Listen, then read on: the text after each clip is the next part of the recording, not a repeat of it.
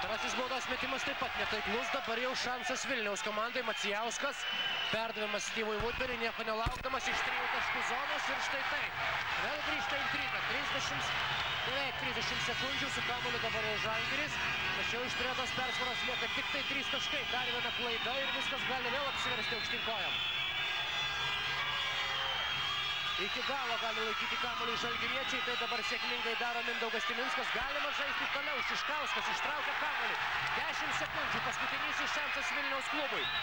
5 sekundės, Macijauskas. Šeštokas, iš trijų taškų zonos.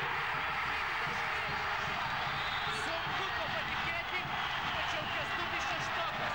Likus 30 sekundės išlygina rezultatą. 80-80. Štai šis paskutinysis epizodas. Na ką, Lygus. Kestutis gali tapti didvyriu. Atrodo, kad jis gali tapti didvyriu prieš tai. Prieš dvi, dvi minutės jisai neįmetė tritaškio, kai galėjo komanda jo priartėti dar arčiau, bet dabar padarė didžiulį darbą.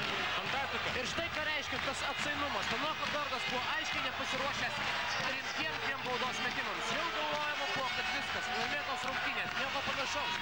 Kęstutis Šeštokas savo tritaškį nubraukė visą tą triusą ir dabar abi komandos bus priverstos žaisti pratesimą. Na, mes kas pirmąjį. Pamiršome 30 Taip, sekundžių. 30 sekundės. Be abejonės, šiek tiek paskubėjome, užbėgome įvykiams iš akių, tačiau atrodo, jog Žalgirio krepšininkai dabar jau na, turi sulaukti savotiško stebuklo. 30 sekundės laiko užtenka vos pagauti kamuolį ir čia pat turi jį išleisti iš rankų. Įdomu, ar, ar bus paruošę kokį nors e, derinuką specialų tokiai situacijai kauniečiai? Aišku, kad kažkur tai arti krepšio turi skrieti kamuolys, kad kažkas galėtų jį beveik tik tai pamušti ranką. Taip.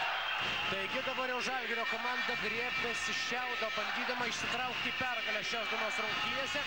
Priešingų atveju jie bus priversti žaisti pratesimą. Edas Kota perdavimas per visą aikštę. Mindaugas Timinskas! Mindaugas Timinskas Žodžių trūksta.